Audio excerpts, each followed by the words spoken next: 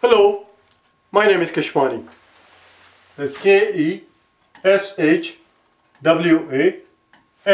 Keshwani. We are here because we want to prepare for GRE. We have been solving GRE math problems out of this book here, the official guide to the revised GRE. If you do not own this book already, purchase one immediately. You're going to need it. Make sure it's the second edition that you purchase. The problem that we are about to solve is the one that you will find on page number 123. Please turn to it, page 123, problem number 4. It is the exact same problem that we solved long time ago on day number 17. I'm going to redo this problem at a little bit of a faster pace and then I'm going to give you a whole bunch of bonus problems. So the one problem that you see there where they're asking for 57 raised to n and then that's the one we're going to do right now and then we're going to have a few more bonus problems if you will. So question here is which of the following could be the unit digits units digit of 57 raised to n. The key here is to understand that they're asking, they're asking us only for the unit digit. We are not interested in what is 57 times 3, 57 times uh, 57. For example, 57 raised to 1, of course, ends in a 7. So 7 is a possibility, obviously, that you can very easily see it. What happens when it's 57 raised to 2? 57 raised to 2, 57 raised to 2 would be same as 57 times 57. 57 times 57. Again, we are not interested in what 57 times 57 is. If you if you try to multiply it out or 57 times 50, it will be there forever and ever because we have to find out all the possible uh, all the possibility of what this uh, result might end in, what the unit digit might be. We are only interested in the unit digit. So 57 times 57, what we need to understand is that 57 times 57, whatever the hell it is, must end in 7 times 7. 7 times 7 is 9. That's it. It's going to end in a 9. It's going to, it's going to end in a 9. That's all we're interested in. So 7 was possible. This is 57 raised to 1. 57 raised to 1 ends in a 7. 57 raised to 2 ends in a 9. So 9 is a possibility. Let's do 57. Let's do let's multiply by 57 one more time and that will represent 57 times 3. And that will result in a 9 times 7. 9 7s are 63. It's going to end in a 3. It's going to end in a 3. And that's all we need. It's going to end in a 3. 57 raised to 3 is going to end in a 3. Let's do one more. Multiply by 57 one more time. Now we have 3 times 7 is going to end in a 1. 57 times 4 is going to end in a 1. And if you don't believe me, pick up your calculator and do it out. 57 then square it and then square it again. That's, that'll be 57 raised to 4 and you will see that it ends in a 1. So, so far we're getting a unique answer here, so we're going to keep on going until we begin to see a pattern. It's going to begin to repeat itself. As soon as we hit a 7, it's going to begin to repeat itself. So let's multiply by 57 one more time, and that would represent 57 raised to 5. And there you go, 1 times 7 is 7. And once we hit a 7, it's going to repeat itself. So 7 is on there you go. We got we got a seven. It's repeating itself. So this is seven. The next next time around it's going to be fifty-seven. The seven times fifty-seven is going to be and uh, seven times seven is a nine, and so on and so forth. So the answers were it's going to end in a seven. It's going to end in a seven. It's going to end in a seven. It's going to end in a nine. It's going to end in a three. It's going to end in a one, and it's going to end in a that's it. 1379. 1379. That's it. We're done. Here's your next problem. Here's the next problem. Let's do it here. Which of the following could be the units digit of 19 raised to n? Do it yourself. Pause the video. Pause the video. Make sure you pause it. Do it yourself. Do the same same logic, uh, logical uh, uh, reasoning, uh, same logical steps. That is, logical reasoning is redundant. Uh, there is no such thing as illogical reasoning. Because uh, if were illogical, it wouldn't be reasoning. Anyway, uh, do the same logical steps and uh, see what you come up with. You understand? So let's let's let's do it. I hope that you did it yourself. Pause the video as I said, and, and then we'll do it again. So same exact thing. So 19, 19 raised to 1, 19 raised to 1 19 raised to 1, of course, is just 19. It ends in a 9. So here's our 19 raised to n. 19 raised to n. 57 raised to n. 0, 1, 2, 3, 4, 5, 5, 6, 7, 8, and 9. 19 raised to 1 ends in a 9. Multiplied by one more time by 19. And that will represent 19 raised to 2. And that's 9 times 9, that's 81. It's going to end in a 1. And then multiply one more time, 19. And that will represent 19 to the third. And again, that's 1 times 9 is 9. You see, it begins to repeat itself. As soon as you see the same thing as before, before we started out with a 9, then we had a 1, and then we have a 9 again. That's the end of the story. That's it. In this case, there are only two possibilities. 19 raised to any power will always end in either a 9 or a 1. Either a 9 or a 1. That's it. We're done. Let's do one more. Let's do one more. We're going to do several more, as a matter of fact. 26 raised to n. 26 raised to n. So 26, 26 raised to 1 is just 26. It ends in a 6. 0, 1, 2, 3, 4, 5, 6, 7, 8, 9. It ends in a 6. Let's multiply by one more time, 26.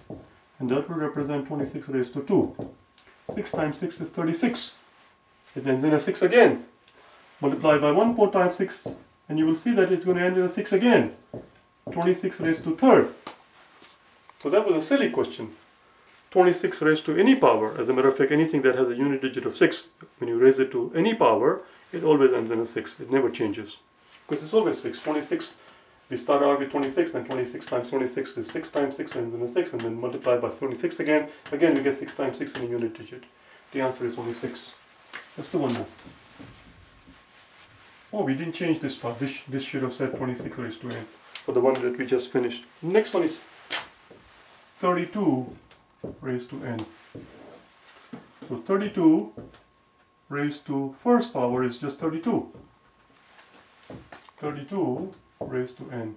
0, 1, 2, 3, 4, 5, 6, 7, 8, 9. Multiply by 32 one more time and we find that it ends in a 4.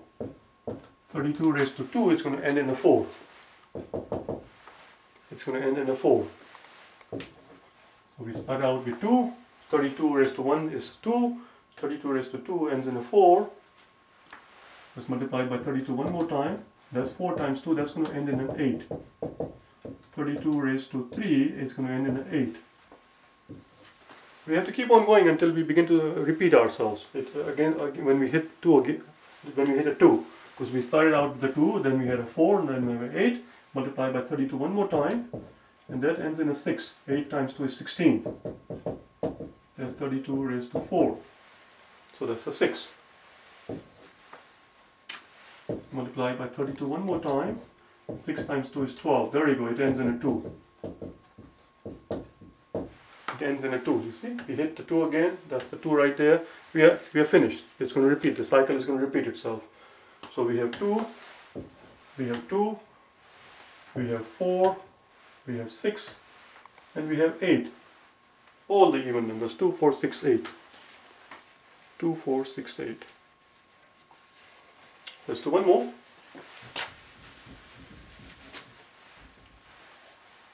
Twenty-five raised to n. Let's see what that gives us, shall we? Can you can you figure it out right away? Think. 25 raised to the first power is it's going to end in a, in a 5. 0, 1, 2, 3, 4, 5, 6, 7, 8, 9. It's just going to end in a 5. Multiply by 25 one more time and that represents 25 raised to 2 and we get 5 times 5 which is going to end in a 5 again. Multiply that by one more time by 25 and it's going to end in a 5 again. So 25, anything with a unit digit of 5 raised to any power is the exact same scenario as the one that we did a little while ago, where any number with a unit digit of 6 being raised to any power always ends in a 6. Similarly, any number with a unit digit of 5 being raised to any power will always end in a 5. Doesn't matter what it is, whether it's 25 raised to 57 or whether it's 25 raised to 3, 3037. It's going to end in a 5. that's it. That was that part. Let's move on. 43. We have next one.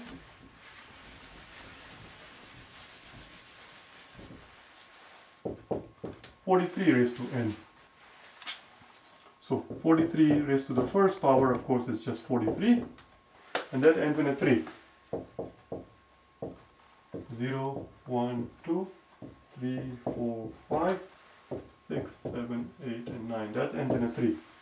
Let's multiply by 43 one more time, and that represents 43 squared, and that's going to end in a 3 times 3, which is a 9. I don't know why I circled them. It's going to end in a 9 before it ended in 3. Let's multiply by 43 one more time. 9 3s are 27. Now we get a hang of it, so it's going to end in a 7. 43 cubed is going to end in a 7, because 9 3s are 27.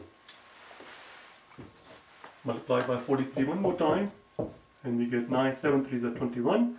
And whatever it is, it's going to end in a 43 raised to 4 is going to end in a 1. Multiply by 43 one more time, and that represents 43 raised to 5 and that's going to end in a 3 it's going to end in a 3 you see? We hit a 3 again. We started out with 3 and we hit a 3 again. As soon as we hit the same number same, same unit digit we are done. So we have 3 9 1 3 9 oh, and 7 sorry. We have 1 3 7 and 9 1 3 7 and 9 but not a 5 not a 5 of course. In order for it to end in a 5 we have to multiply something with either we have to multiply something that that ends in either a 1 or a 5 obviously. And since we have a 43 we're not going to get a 5 let's let's do one more. 14 raised to n 14 raised to the first power is just 14 14 raised to n these are all bonus problems. Do You understand? In the book, they're only asking you for something ending in a seven. And then after after having all of after having done all of these problems, in the future you will never have a pro difficulty with a problem such as this one. It'll be it'll be a sim simple thing to do. 14 raised to 1 ends in a 4. 0, 1, 2, 3, 4, 5, 6, 7, 8, and 9 ends in a 4. Multiply by 14 one more time, and that's going to end in a that product of 14 times 14 is going to end in a 4 times 4 is six, 16. 4 fours are 16. Multiply by 14 one more time, 6 fours are 24.